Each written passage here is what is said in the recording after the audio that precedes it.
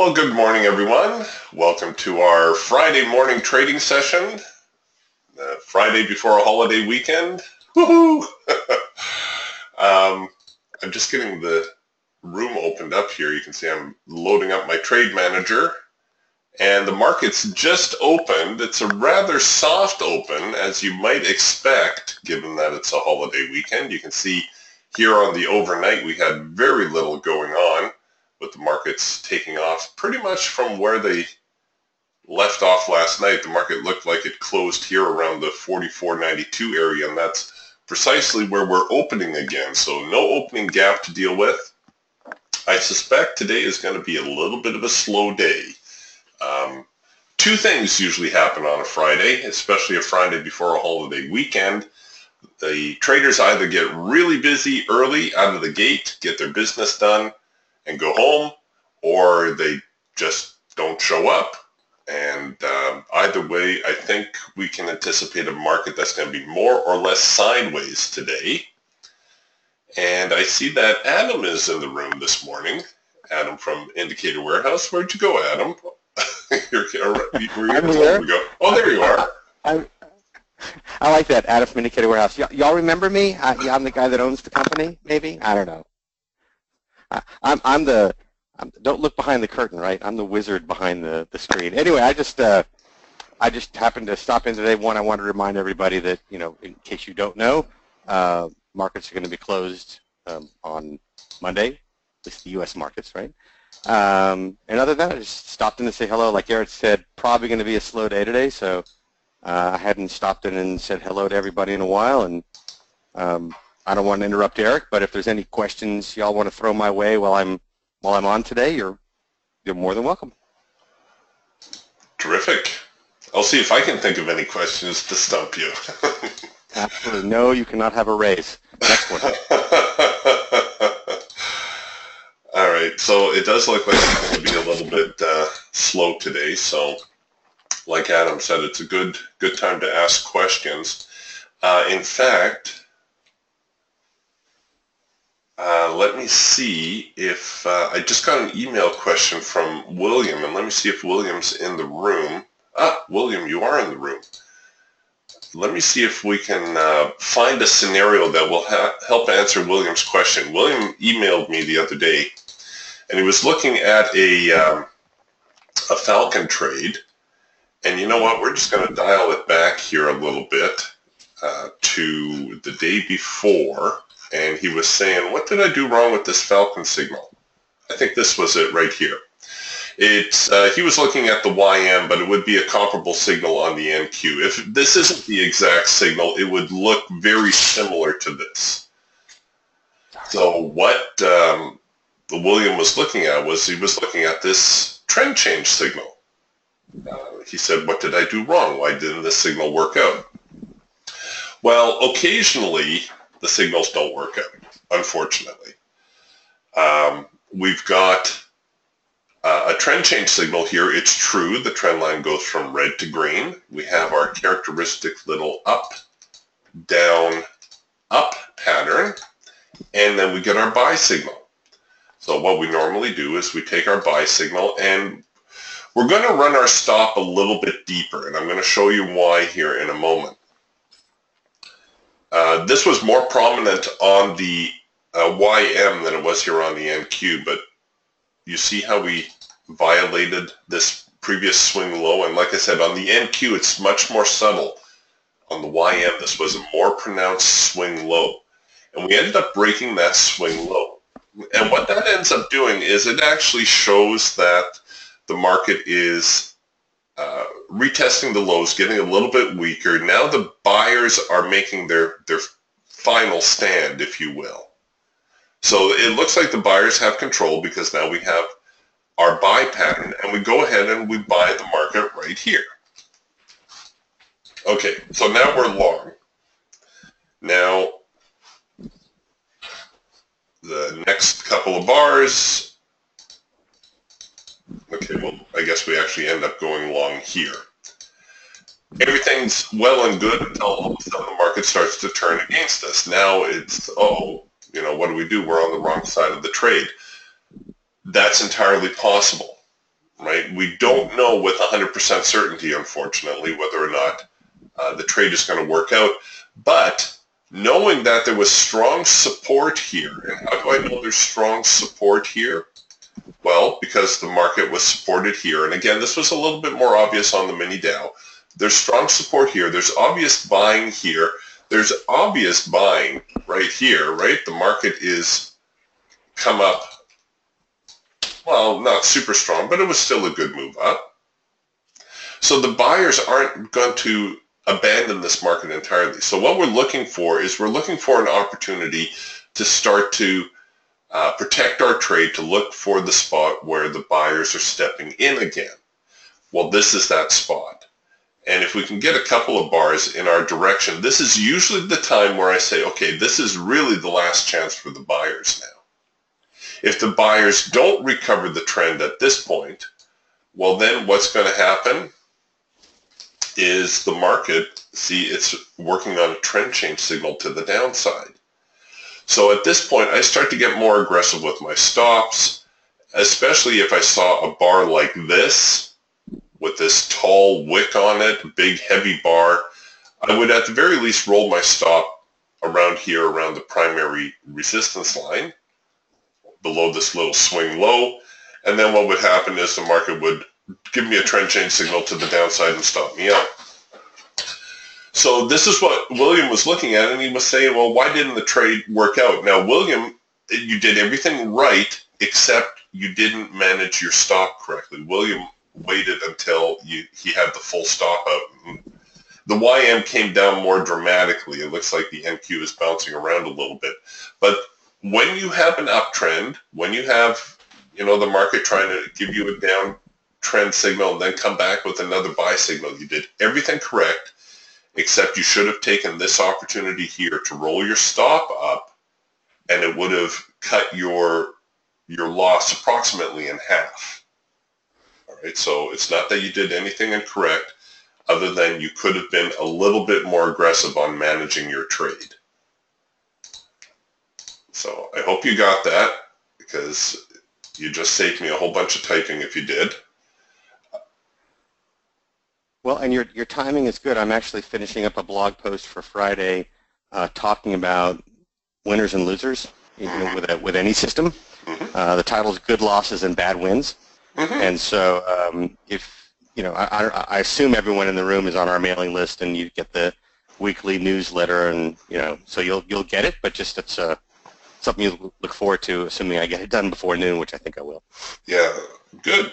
Oh, William says he did roll uh, his stop. Well, then you did everything correct, William.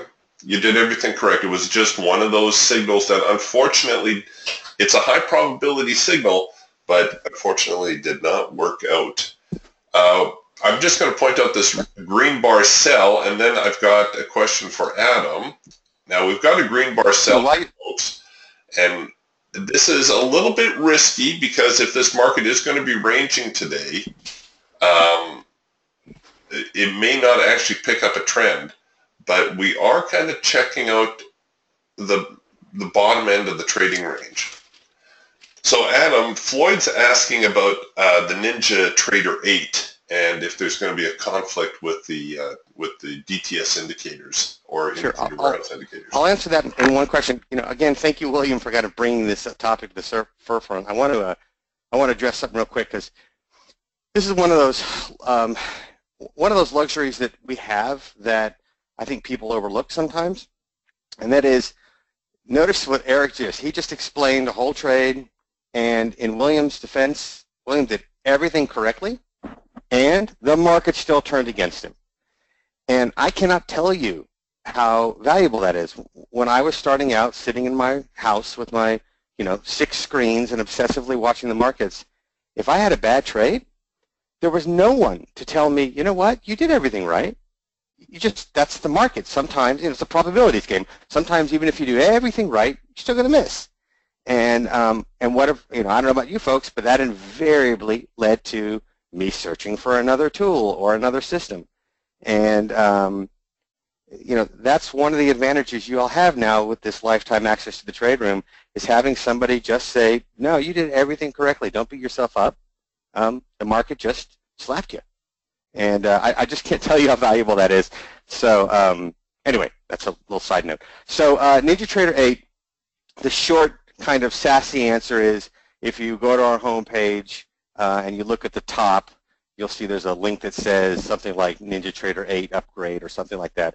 And it has a, sorry about that, it has a long, um, you know, dissertation, if you will, of, of where we're at with that, but I'm going to I'm gonna summarize it for you. Let me just turn off my sound real quick. Okay. Um, the, the gist of it is this, and, and, and I'm sorry that Ninja has not uh, marketed their software in the way I'm about to tell you, but this is the reality. Ninja Trader 8 is beta software, B-E-T-A. If you don't know what beta software means, Google it.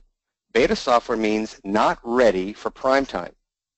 And it's become a, um, a policy, a practice with software companies really since Microsoft came online to release beta software, meaning it's got bugs in it and it's not stable, to the general public and then let the public, the general public, find the bugs for them because it's more cost effective right? And that's a lot of software companies do that. I mean, it's not, I'm not knocking Ninja.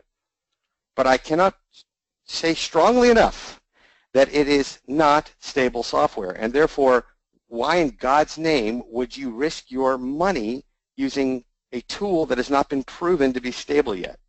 So that's from a customer perspective. From a vendor perspective like me, I've been down this road before. We were here when Ninja went from 6.5 to 7 and then from three months later from 7 to 7.3, and it was incredibly costly because every time we would try and get ahead of the ball and, and, and code for the, you know, in advance, they would change their code, code base because it was beta. And so our policy now is until the code base is stabilized, and that doesn't mean the day that NinjaTrader 8 comes out, because I promise you when NinjaTrader 8 comes out, you watch within the first three weeks to two months, there'll be 8.1, 8.2, 8.3. And when it is stabilized, then yes, I guarantee you we will update our product line to work with that stable product. And according to our policies, and we stand by it, those updates will be free of charge to you, right? So that's the good news, if you will. But please don't think you're going to trade any better just because there's new software coming out. It doesn't, it doesn't change the fact that you have to still put in the time, energy, and, and effort to, to learn the tools that you have today. And now I will step off of my soapbox and hand it back to Eric. yeah, I didn't know that, but you know, Adam, that makes perfect sense because um, I've got an old laptop that I play with uh, Linux uh, operating systems from time to time, and they're totally about letting the uh, the public debug their software, but of course they're a bunch of computer geeks, so they love doing that sort of stuff. I yeah, I actually, I, I, when I was first starting out spending as much money as possible, um, I got into a product called OmniTrader. Please don't jump over there. Don't waste your time. Anyways, OmniTrader, I spent about $10,000 with them. And their model, which I love, was um, you can pay, give us, give us dollars to pay for our development effort. Sure, why so, not? Right, and I was like, really? And I was a sucker. I dropped $6,000 on their, quote, uh, artificial intelligence engine, hmm. which was a joke. Uh, so, you know, I, I, just share that with you because, anyways. All right, looks like there's a trade setting up, so I'm going to shut up. Yeah, it's it's not a quality trade. I'll point it out because we're in the uh, room here this morning, and there's not much else going on. It's a green bar sell, but it's trying to work itself into a first micro macro cross higher. So we're really in a position now where we could almost bracket this trade if we wanted. But honestly, it's not it's not a pretty trade. And there we go. Come on, get higher so I can delete this thing.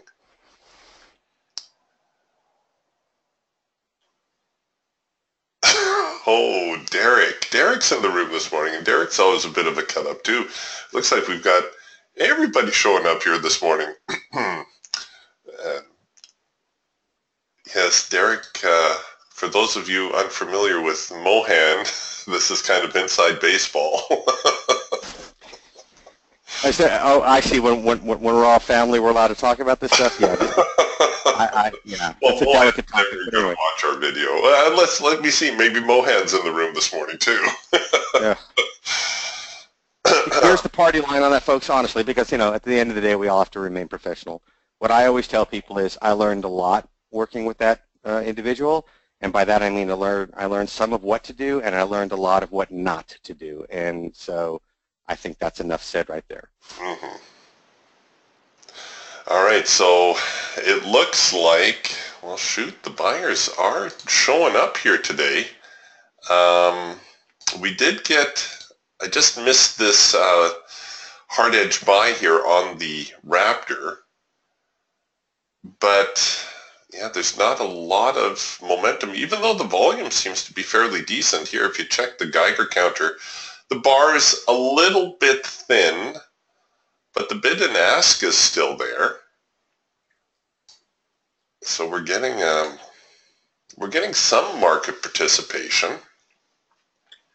Well, we'll just hang out here for a little bit. I still think that maybe we're going to see something go sideways here this morning. Uh, gold. Adam, you may want to just hit your mute button before you. Uh... Yeah, you know what? I, am sorry. I'm so sorry. I'm not used to doing this stuff anymore, and I apologize. you got allergies, I can tell. Yeah, Houston, Texas. terrible. Um, yeah. I've done it too. I've missed the mute button and, and coughed in their ear too, so they're used to it. Uh, gold and crude also very sideways this morning.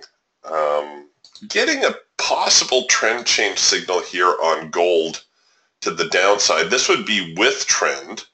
So what we would be looking at here is this more or less has the shape of a bear flag, right? So out of this type of scenario, we do expect the market to continue lower from here. So we could set up the signal like this. I would definitely risk it above the swing high. You could also do a second push on this entry. And why would you want to do that? Well, you see the market bottomed out here. Then we had more buying right here. And look at where our entry falls. It falls, the hash mark falls right on the trend line.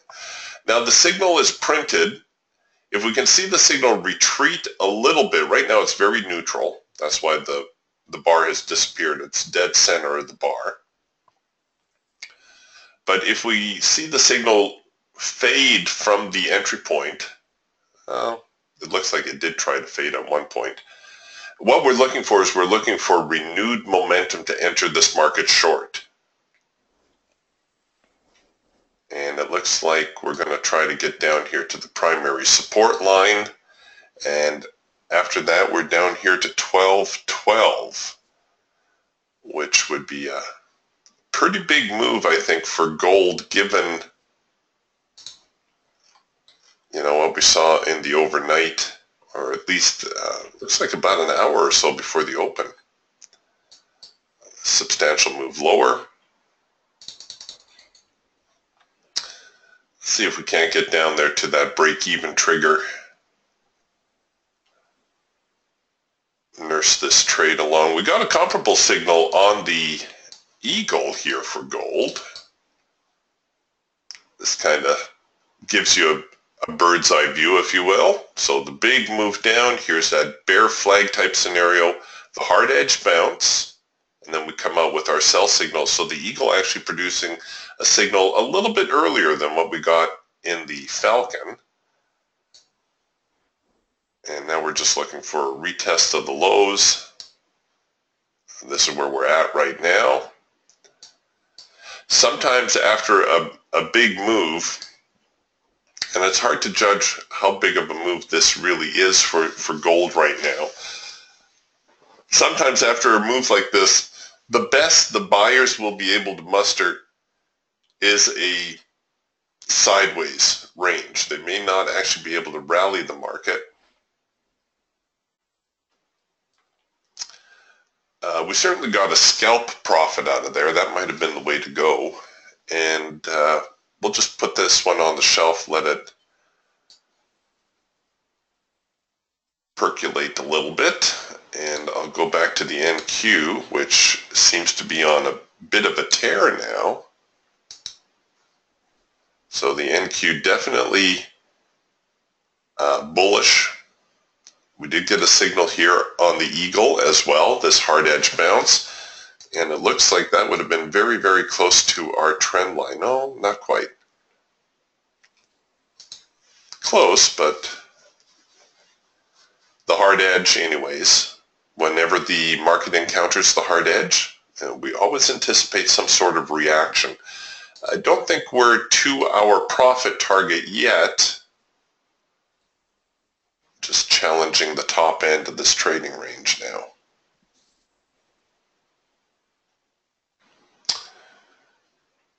Uh, but yeah, we do have a little bit of a bullish flavor for sure.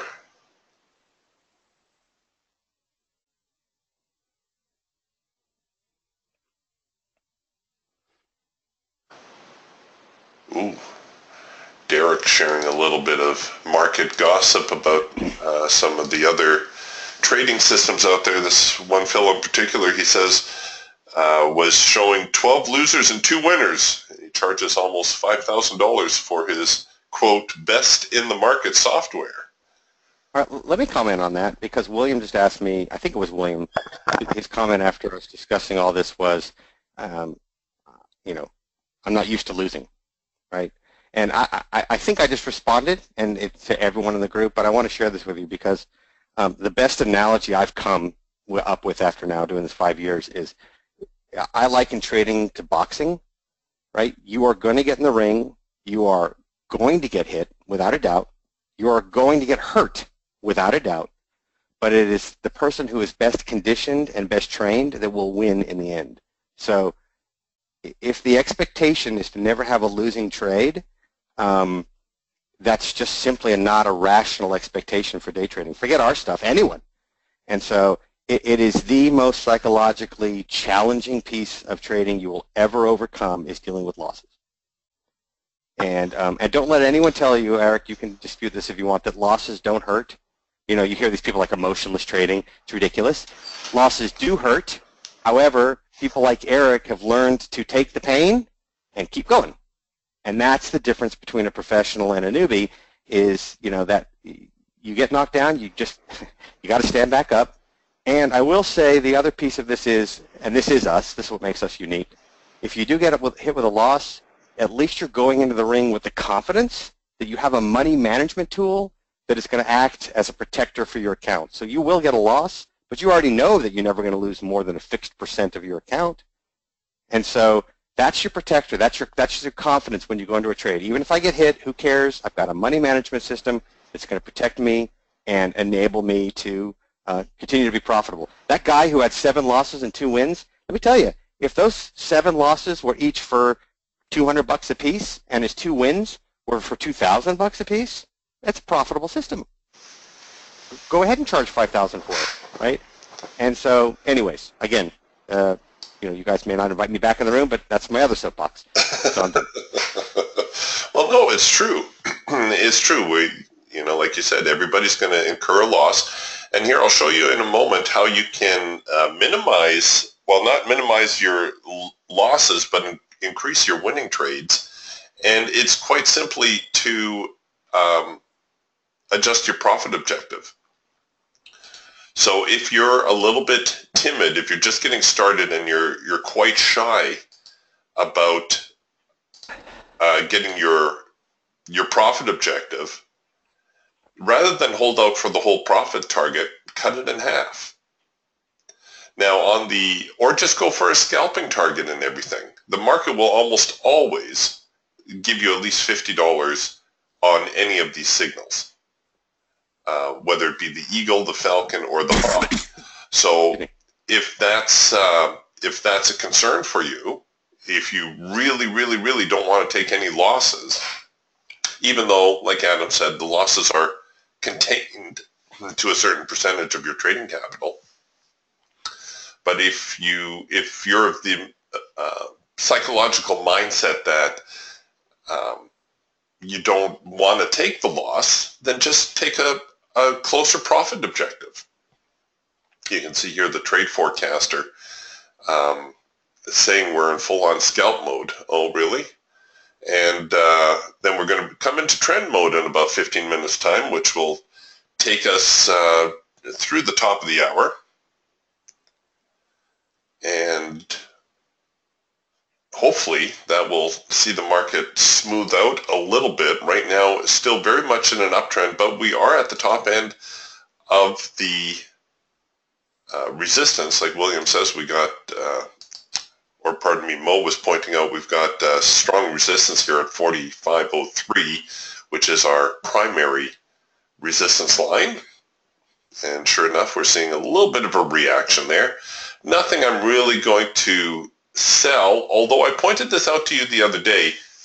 If you suspect that the market is in a trading range, the DTS system isn't going to produce counter-trend signals because it's been designed to pick up signals more in trend, although we are about to produce a double dot sell which is the counter-trend signal for the Falcon. But you could simply throw in a limit order at the highs, a limit order to sell up here, a limit order to buy down here. Now, if you're going to do that, I strongly recommend you go with a scalp target. Just go with the 50 bucks. If the market hands you the $50, say thank you very much, get out and wait for another signal. The reason is twofold. First off, it's a counter trend trade. So the likelihood that the trade is going to have any significant follow through is remote. Uh, secondly, if you stay in a counter trend trade too long, it blocks you from taking a with trend signal when it develops. So you can see we're working on a trend change signal to the upside here with the Falcon.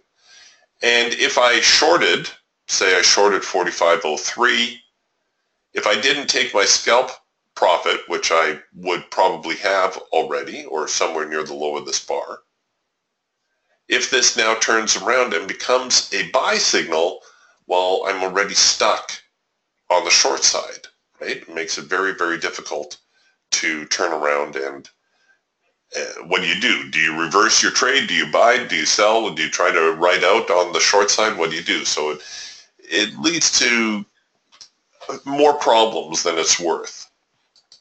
But like I said, if you suspect the market is in a sideways range, which I totally think we're looking at a sideways market today, go ahead, try to throw in a buy order at the bottom and throw in a sell order at the top and see if you can't sneak a couple dollars out of the market.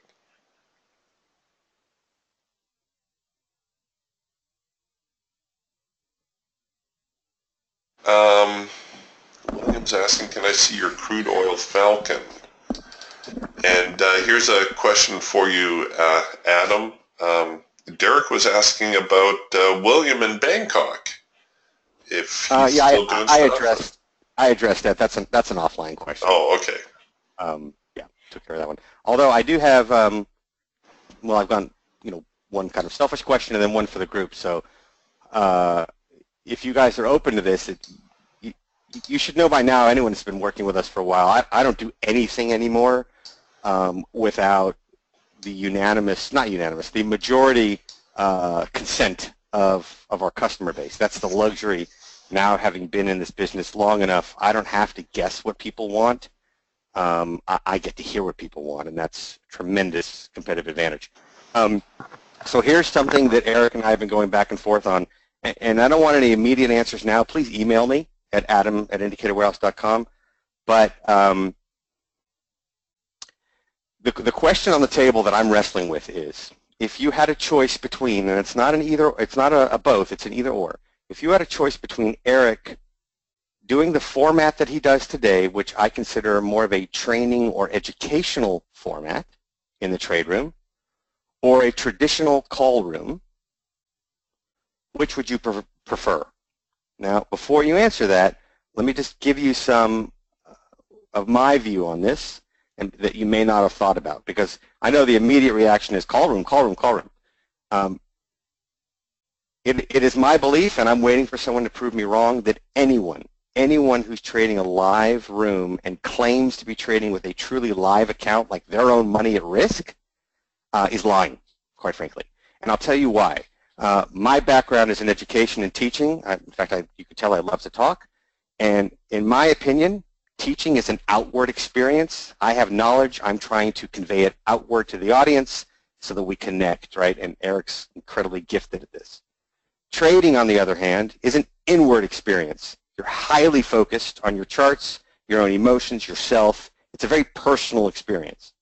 And the reason I'm sharing this is if Eric has real money on the line, namely my money, then it's going to be a rather quiet room. Okay? I mean, there, there will be like, okay, I'm about to take a trade, but the last thing he's going to be doing is fielding a bunch of questions. And, and, I, and I'll tell you why. Imagine right now you're Eric, and you're in your room, and you're trading, and you've got 50, 100 people asking you questions while you're trying to make money. Would you be successful? And so also imagine that you have to talk out loud what you're doing while you're doing it. And I don't mean cursing at the screen. Would you be successful? Well, that's what it takes to be a trade room moderator. And so, yes, do we trade on a sim account in a live environment? Absolutely. In fact, we don't hide it because this is an educational environment in which our objective is for you to take advantage of this education so that you can capitalize on the investment. A, it, I recognize it was a big investment to buy into Raptor and or DTS. And so I felt as a business owner obligated to enable my customers to use the software because my assumption, correct me if I'm wrong, is we're all in this to get out of the room and be self-directed independent traders. Whereas a call room, in my opinion, fosters a sense of sucking from the teat for the rest of your life. Anyways, man, I'm just full of soapboxes today. Um, that's yes, what I want you, you all to think. Right. That's what I want you all to think about. That's probably why you don't let me on here too much. That's why I want you to think about because it's a big deal. I mean, yes, would our marketing and sales skyrocket if we were out there saying live call room free forever, you know, with no cost associated after you buy the system? You bet. Uh, I mean, that's like, that's, that's, that's whatever. And I'm very confident that Eric could do that. I'm very confident that Eric can make money with a live account. We've proven that in the past. Again, the question is what is the, what is the value or what is the venue for this room for our customers? And I would love for you to take some time and let that sink in and, and write me an email at adam at indicatorwarehouse.com and give me your opinion. Yeah, because after all, that's that's why I'm here. I'm here to help help you guys learn Yep. how to use your your software and hopefully highlight a couple of good trades in the process. Uh, William was asking why his gold chart looks so different than mine. Uh, gold I actually have uh, on the alternate settings. Now, for those of you who haven't heard about this before, there's a couple of markets that don't look right with the default settings. The E-mini S&P being the most um, popular one. Uh, what happens if you put the stock settings on the E-mini S&P is that your your daybreak lines look something like this, and you're not getting enough data uh, developing within each day to get an adequate amount of signals. So if that's what your chart looks like, then what you need to do is you need to try the alternate settings. And the alternate settings are four ticks for the hawk, four ticks for the falcon, six ticks for the eagle. Now the easy way to remember that is that's the uh, phone exchange for Moose Jaw, Saskatchewan, just in case you were wondering. But um, the alternate settings, I have them on gold. Gold is actually a large enough market. I could go with the stock settings, but uh, traditionally the markets that are trading at 1250 a tick, so that means like the E-mini S&P, whenever we're watching soybeans or wheat, I'll go to the alternate settings, and the only reason is that there's not enough data coming through. But you can see gold. Um, I could certainly go with the stock settings on gold. I just happen to have it on the alternate setting chart. It doesn't mean that you're not going to, uh, you can't trade gold off the stock settings, off the default settings. Uh, but with the alternate settings, you are going to produce a few more signals, which is not always a good thing. Um, sometimes, you know, we just want to get the uh, the quality signal and not worry about the quantity. So I'm sorry if I confused you there, but yeah, that's what's going on with the with the gold chart. So it looks like we're going to try maybe to make another press lower here, in which case I'll start rolling that stop down. But uh, right now, gold's still kind of sideways. And the NASDAQ struggling to get a little bit higher, but holding its own. So you see the, the volume that went through on this bar down here on the Eagle, right here at this 4503 area, that primary resistance line that we know of. A lot of buying and selling going on there. Looks like the buyers won that bar and they won the bar after that. And now the sellers are starting to gang up on them a little bit.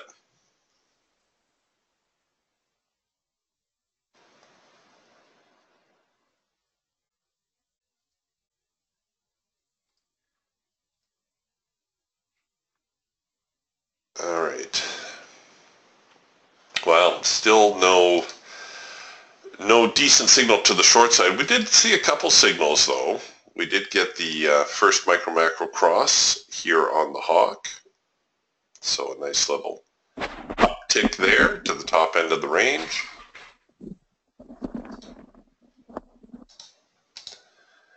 And we are working a trend change signal. You know what? I'm going to, oh shoot, it's going to run away on me. Maybe we'll try it here on the Raptor.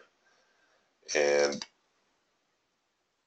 so what we've got is we've got um, essentially just a continuation signal here on the Raptor.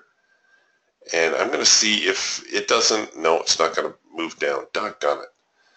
I was going to try to let the signal retreat a little bit and I was just going to hop in with a buy order. But it's not going to give me that chance. Oh well. The other well, thing, when you are in a trading range, of course. Pardon, Adam? Thank you for saying Raptor, because that was my second question, and it was a wonderful lead-in.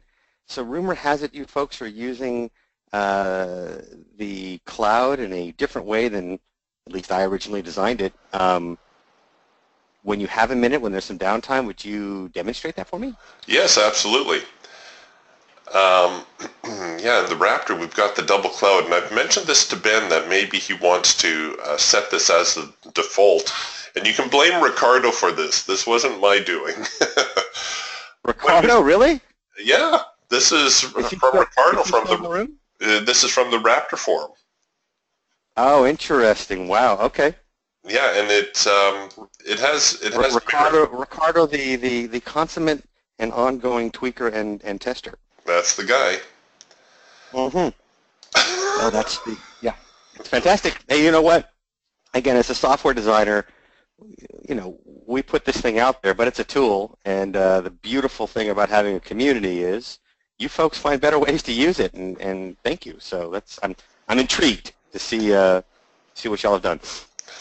Okay, I was just going to point out here when you're in a trading range, uh, the safest plan of action is oops is to let the market break out of the trading range and then look for that retest. Once you get that retest, see if the market doesn't come back and produce another signal that's going to be the high probability signal that you can take. Even though it looks like the market may be topping out, you might be looking at it and say, oh, I can't buy. What if I hit the resistance here and the market goes down? No, you got to focus on the higher support. You got to focus on the fact that you broke out and the market came back. It looks like the buyers are holding that area uh, where they broke out from and go ahead, give it a, give it a whirl, try to buy it up. Okay, so for those of you who only have the single cloud on your Raptor, this is how you can fix that. So you go to your you go to your indicator panel and you scroll down here and you find where it says IW Raptor Cloud. Where are you? Here we are. Maybe Eagle Cloud. Oh, okay. There it is, IWRTS Raptor Cloud. Mm-hmm. So if you double click on that, you're going to find that you have two Raptor clouds in your assortment. So the first cloud I changed to a brick size of 8, Raptor cloud size of 8. The second cloud, uh, just leave with the default value of 12, but we need to change the color. Otherwise, you're going to have two bands the same color and you're not going to know which one's which. So choose whatever color you like. I chose cornflower blue because it's pretty. And then you also need to change the, the hard edge color. And again, you can choose any color you like, so long as it's not this, the same value as the other cloud. And then you can apply those, and voila, you have a double cloud. Now the reason Ricardo did this when he was uh, playing with his Raptor tool is he found that sometimes he was getting these hard edge bounces a little bit early and sometimes the hard edge bounce would come a little bit late. And that's why Hmm. he doubled up on the cloud for the Raptor. And there you go. Now we have this awesome So, so is, double is, cloud. is the principle of the hard edge bounce still valid? It's just there are two opportunities now for a hard edge bounce? Uh, yes. Uh, you've got the you've got the two zones that we're watching, and uh, it also gives us a a great little signal um, that we refer to as the cloud crossover. I got to go back here a little ways to find you one. Uh, come on. Well, this isn't textbook, but I guess it'll do. So the the bands are obviously bullish here, then they start to cross over and they become bearish. When the band crosses over, we look for the market to retreat into the band and the band to offer some sort of resistance. And then we're going to look for a signal to generate out of that. That tends to be a very Okay. high probability signal. So that the band crossover or the cloud crossover tends to have pretty good follow through. Uh, let me see if I can find you here. Well, no, that one didn't work. Hold on. Sorry, I'm going to make everybody dizzy here, but let me find a good one. Here we go. So we go from an obviously bearish market. The clouds cross Right. over. Now we're looking for the band to offer some sort of support as the market retreats into the band. And then we come out and there we produce our buy signal. So this is our cloud crossover signal and it tends to be a high probability signal, this guy right here. And then we get our, I love that. yeah, it, it works really well. You know, traditionally in the past, the Japanese have always copied our engineering. So now we get revenge and we get to copy theirs, and it's a better Ichimoku cloud. So, ah, that's American ingenuity right there. Pardon me, North American. Sorry, Eric. I apologize. North American. yeah. Okay, got it. You know what? Do me a favor in your copious spare time. If you would make a short video of what you just told me, I'll get it out on our YouTube channel. So, you know, Sure. or at least in the training part, so that you don't have to keep answering that question over and over again. Mm-hmm. And like I said, maybe Ben just wants to uh, change it so that it, it rolls out of the, comes out of the box that way. Yep, point taken. Okay. Uh, See, William folks, now, now you get to see how things are really working, right? This is, you know, the old saying, you don't want to see how sausage is made or, or advertising. Same thing, right? It's messy on the back end, but uh, anyway, just teasing. Um, William's asking about the DTS forum, uh, the Facebook forum. I'll let you address that, Adam, because you know all the addresses and whatnot. Sure. Um, I, William, I'm not quite sure. I'm, I don't see the question box. Just email me and tell me what you want to get into or need to get into, and I'll send you the link and access and all that stuff. Okay, so anybody, if you're not on the, we have two Facebook forums. There's the DTS forum and the Raptor forum. And uh, the idea is just that DTS owners and Raptor owners get together and they share some ideas. They say, hey, you know, I find this works, or what do you think of this? I've been testing that, and, and so on. It's a, like Adam says, a great place to share ideas. The Raptor is the most tweakable of the tools. The other tools are, the programming is locked. The Raptor does have some uh, tweakability to it, which is how that whole double cloud scenario came about. Got it.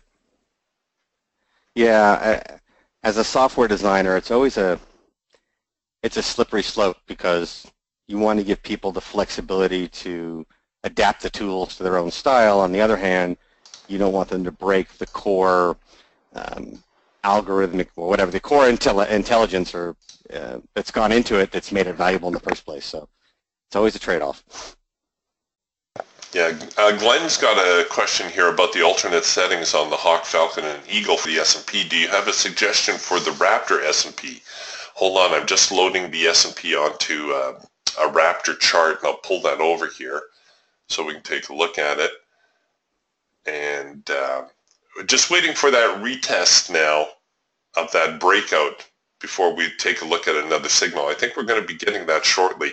Ideally, a macro pullback signal here in the Hawk, um, a trend line touch, or maybe even a late filter entry signal in the Falcon, and uh, perhaps a, a, a, hard edge bounce here on the Raptor.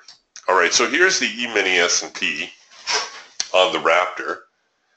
And you can see what I mean about the daybreak lines. Right? These are, this is yesterday. This is all of yesterday's range. This is all of the day before. This is all of the day before that. So you can see, unless you happen to catch this signal here at 221 Pacific AM, you didn't generate another signal the whole day. So if this is what your chart looks like, this is time for you to try the alternate settings. And like I say, unfortunately, the E-mini S&P, one of the world's most popular markets, has to be the odd man out from the default settings. So go to your data series and um, try the alternate setting. Uh, we'll dial it down, say, we'll try the six tick brick first. And I'm going to show you what you want to look for here so you can judge whether or not uh, the brick size is the right size. So notice our, our lines have expanded somewhat. We're starting to generate a few more signals. This could just be a quiet day. Ideally, I want to see the, the whole session span at least the width of my monitor. So let's see the, the next day. Okay, that's not bad. It's borderline. Let's see the day before that. Okay, still not bad. So now what I start looking at is I start looking at, okay, what kind of signals what, uh, were we printing? Did I get any trading opportunities and what were, was the follow through like? It's a little bit of a balancing act between finding um, an adequate number of signals and going too far and having too many signals because remember, we're not about signal generation. We're about finding high probability signals. And the Raptor in particular has been designed to choose quality over quantity.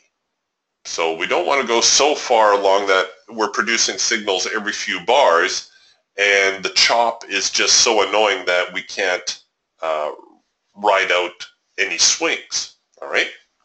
So here the market opened this particular day. We generated a signal. That's great. An hour later generated another signal. Now this was an exceptionally strong day.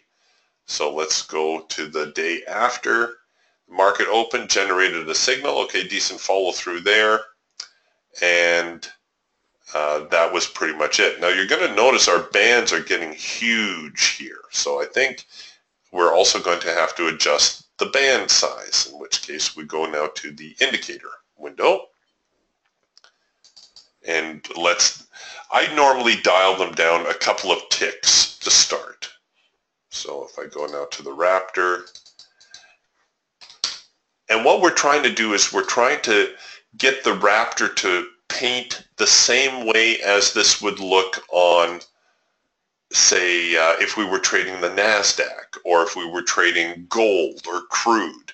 You know, we don't want this chart to look any different. In fact, you want to be able to look at the chart and not really recognize the market that you're trading. Okay, so it's better, but the band still a little bit big. You see how we're we're missing these hard edge bounces here? So let's dial it down a couple more ticks. So we'll go from six ticks to four, and on the other band, we'll go to, where did you go? Raptor Cloud. We'll go down to eight.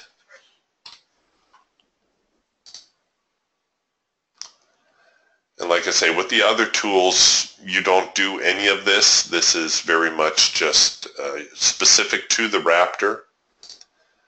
Okay, that's starting to look a little bit more familiar, isn't it? And you can see we're getting some decent hard edge bounces. What you want is you want to have the confidence that when you see the signal, when you see the cloud crossover, when you see the signal, that you can say, yeah, okay, I recognize that signal. I can take that. I know that's a high probability trade. And what you do now is you just scroll back through your chart for a few days and you follow the signals and you say, you see how the signal follows through. If it looks like it follows through correctly, then you found your settings. So with the uh, with the ES, it looks like you could go to a four tick brick. I'll show you the four tick. And four ticks on the ES is actually a natural number because there are four ticks per point in the E-mini. So to answer your question, Glenn, I'd probably gravitate toward the four ticks.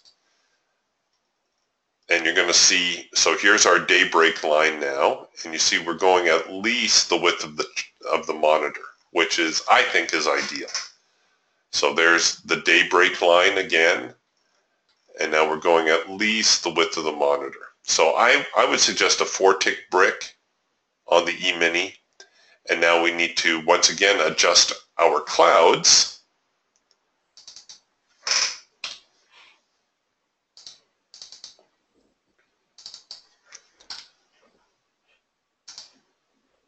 So, and we're just trying to get it to look normal at this point. And like I say, if you don't know what normal is supposed to look like, uh, look at a uh, look at a uh, crude oil chart or a Nasdaq chart. Okay, that one band is too narrow.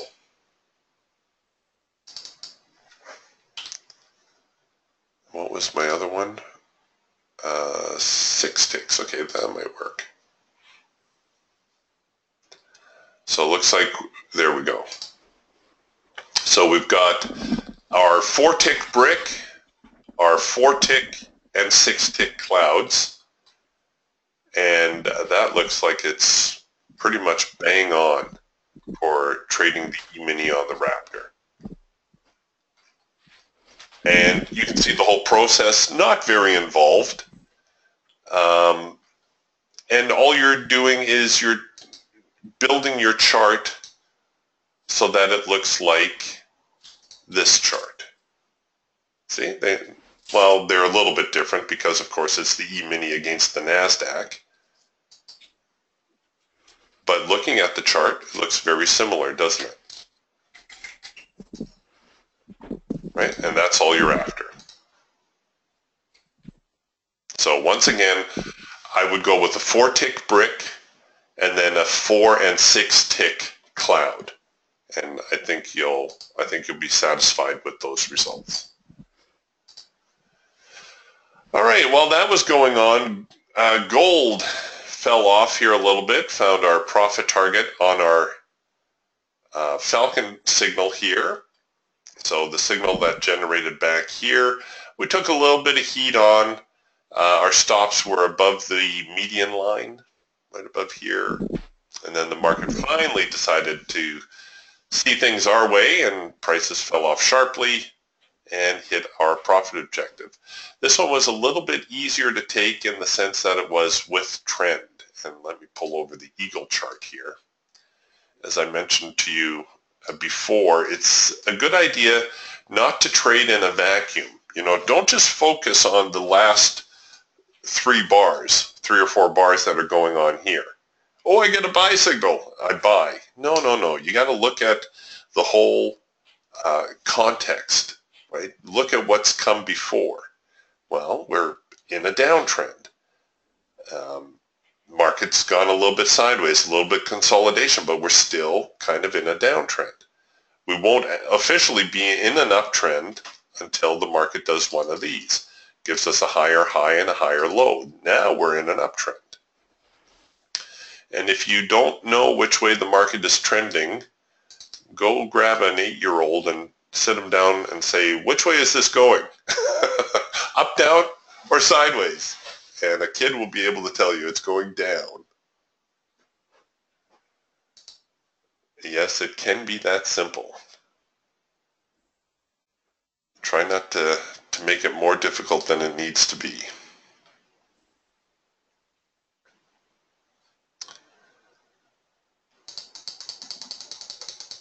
All right.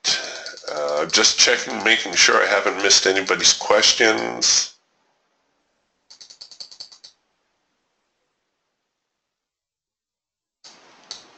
No? Okay. All right, folks, as enthralling as this is, um, I do have to keep running our business to keep it alive. So um, anything for me before I go, again, you're always welcome to email me and, you know, if you want to talk, you know, I have my little link to set up a conference call. I'm happy to do that. So anything while you have me on the spot. Uh, Alejandro has a question about uh, the Eagle Cloud indicator. He says he's got the DTS system, but uh, Alejandro, I think that's best if you just shoot uh, Adam an email about that and ask him what you you're looking for there. And I'll type in Adam's email so everybody can s- spam him. All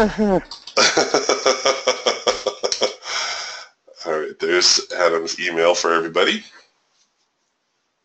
And seriously, uh, Eric, just make yourself a note, please. I mean, there, there's some really great little tidbits that you dropped today, particularly around the cloud, um, you know, or any alternate settings. I think you have a cheat sheet, if I remember correctly, but if not, you know, aggregate this all together, and I'll put it, to, you know, I'll make it look nice and get it out to the to our customers. Mm-hmm. Will do. All right, folks. Um, it was fun. I hope I hope you all got some value out of you know me being here today. If not anything, uh, you got to hear me rant. And uh, have a great weekend. Um, for those in the U.S., have a nice Memorial Day, and um, we will catch you on the flip side. Thanks. Bye. Talk to you later, Adam. I will now try and leave without canceling the session, which may be tricky. All right, here we go. yeah, okay. If, if the room shuts down, we'll just call it a day. Adam closed the room. Nope. All right. So far, so good. Okay. Well, uh, still not much going on, but that was kind of what we suspected. It looks like the NQ tailed off here a little bit as the buyers walked away. So here was the top end of this trading range. Came down. There was no support here. And now we've drifted back deep into the trading range. Um, I think we're just going to be stuck sideways. We did produce a first micro-macro cross. This one would have been a little bit tricky to take uh, because we don't really have a retest of the extreme, right? We don't have a retest of the high. You could take it. You'd probably have to cover the trade up here, however. Now we're into yellow bars, so I can nix this signal, but if the market is going to continue lower, we should produce another scalp signal here. But overall, the market is very, very sideways. But like I've been saying, it's kind of to be anticipated. Uh, we'll stay with it a few more minutes. Um, we'll hang out for maybe another 10, 15 minutes, see if things start to loosen up. Otherwise, I think we'll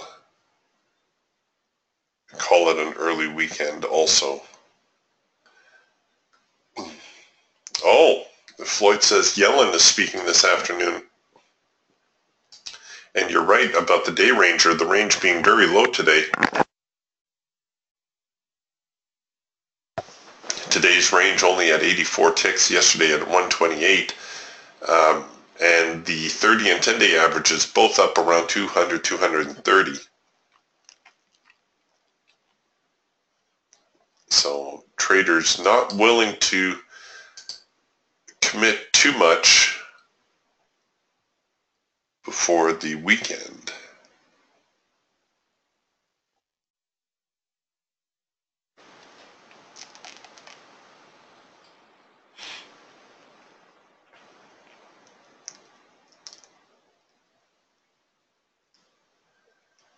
Do, do, do. Getting a red bar buy signal. It's against the ATR.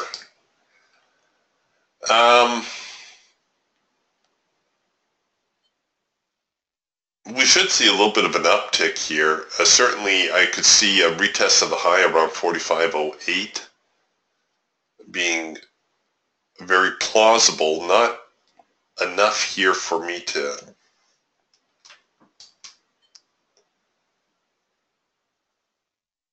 Hmm.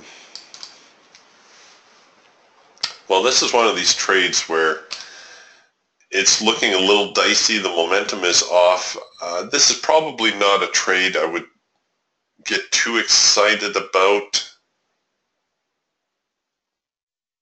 There's very little follow through, either higher or lower at this point. Uh, I'm going to point this out just because there's nothing going on, but we're we're getting a buy signal here. It is a red bar buy, but it's the signal is against the ATR, right? When it prints this way, it's against the ATR. Sometimes I will take the signal early, but very often I want it to be in sync with the ATR. So what that means is I actually let the ATR flip over. Now I can tell you from from this bar right here, if it closes on the high, it will trade past the ATR and it will flip the ATR over. So this next bar effectively becomes our signal bar. So you could look to buy above there. Ooh, can't cover down there. That's too far.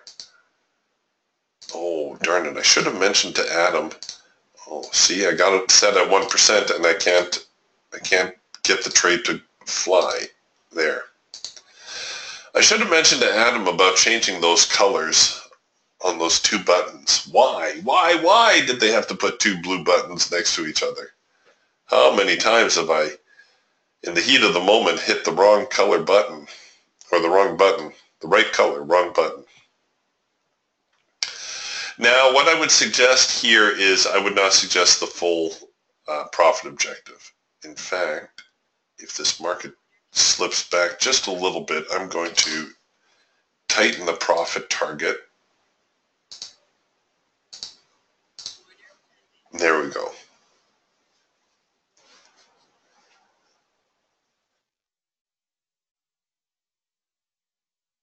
Uh, William asks, can you adjust the colors on the ATR? I, I don't know.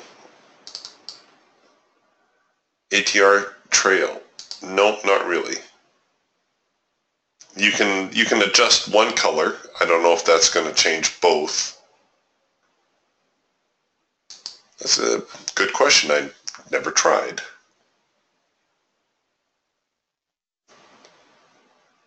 Oh.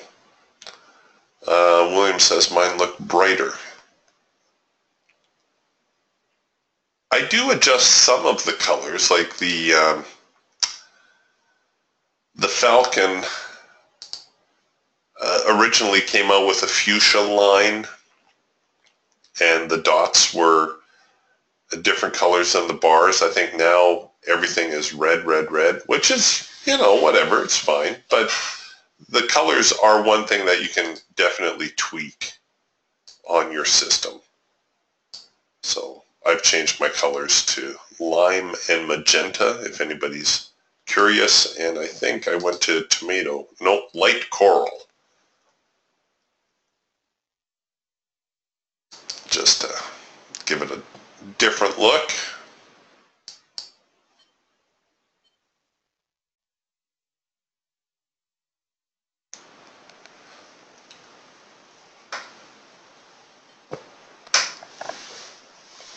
Okay, the Geiger counter showing some pretty serious, or there was some serious buying. There it is. Hold on. There it is. Come on. So we'll see if that follows through now and actually produces a buy signal on the eagle here.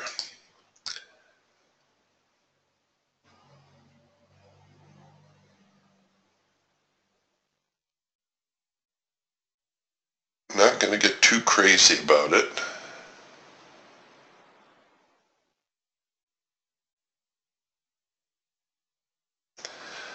even though it technically it's a high probability signal, my stops are pretty tight. I would much rather have my stops down here, give myself some room to play in.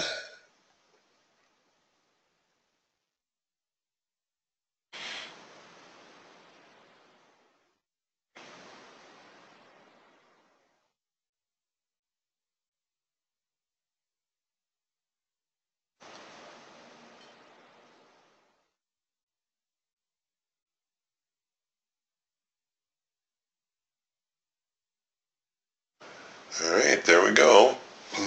So you see how the bar closed on the high. The ATR now flipped over. So everything is in sync.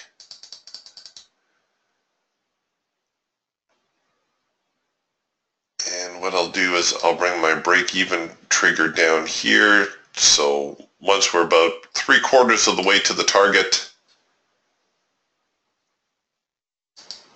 we'll get this trade into a break-even situation.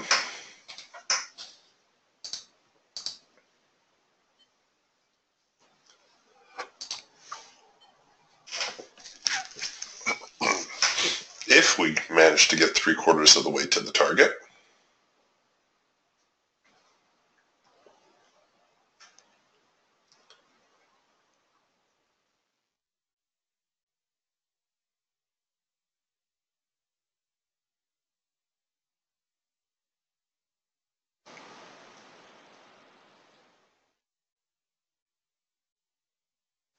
I do have the brightness up a little bit on my monitor as well. That might uh, make the lines stand out a little bit more.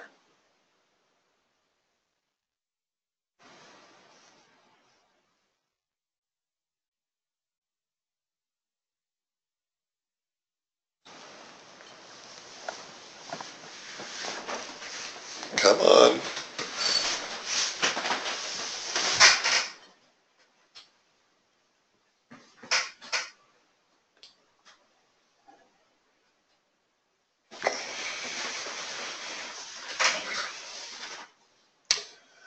I would at least expect 4508. Where's our support and resistance suite?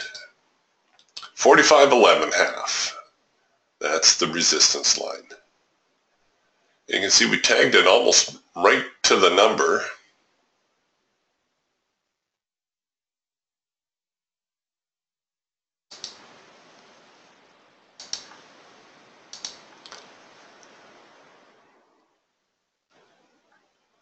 Come on, here we'll give it a little nudge. Get up there.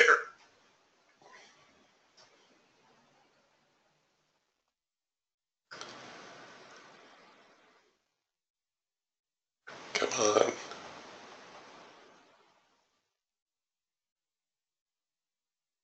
Hmm. It was it's trying to get a little bit more of a bearish flavor going.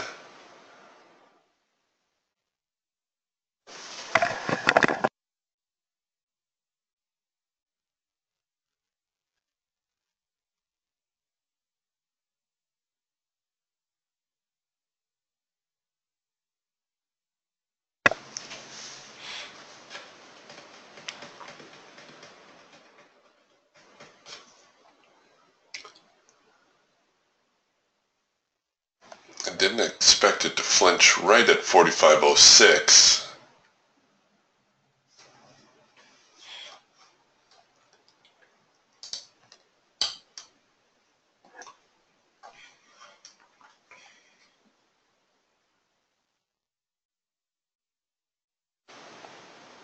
The uh, unfortunate part about this trade is if it tries to turn here, it's going to look very much like a um, test to the extreme.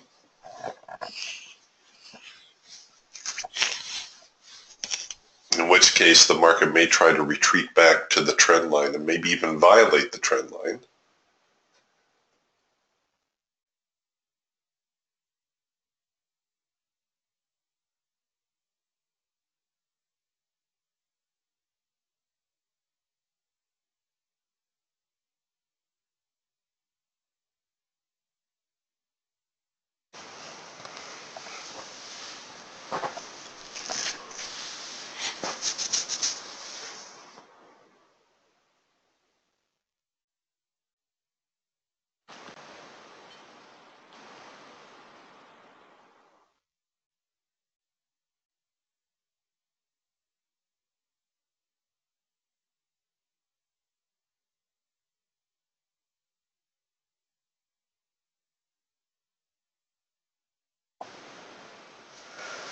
Come on.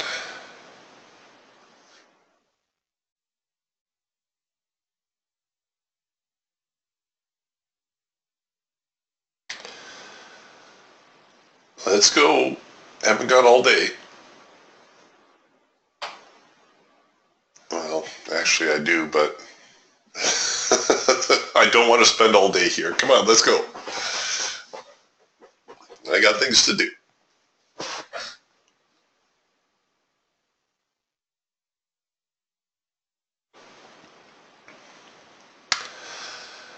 All right, well, this isn't looking all that promising, but we figured as much.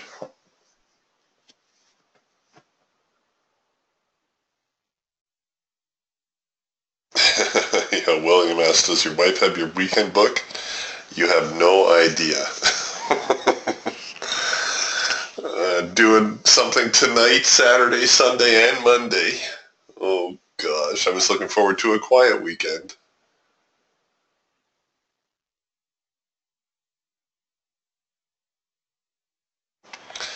Well, as we get closer to the uh, lunch hour, and I suspect the afternoon will be dismal, as in dead, uh, we can anticipate more of this sideways, stagnant trading. I'm debating putting my stops in right here below this bar. See the one with this tail?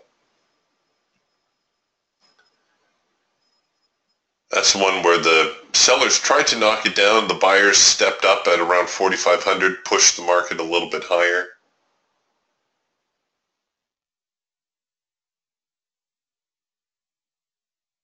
Uh, this is the more fundamentally sound stop down here.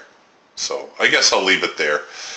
And I'll just try to nurse this one up, see if we can't get it at least to the break-even trigger and up to the uh, profit target. And uh, yeah, William, I think you got the right idea. I think we're going to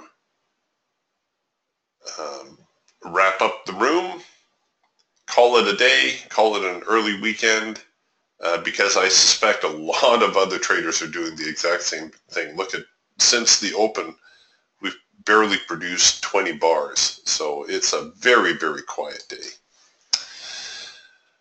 All right, you guys and girls, have yourselves a very nice holiday weekend. I will see you on Tuesday, and uh, we'll get back at it. Tuesday should be a busy day. There'll be lots for the market to react to. All right, we'll talk to you then. Bye for now.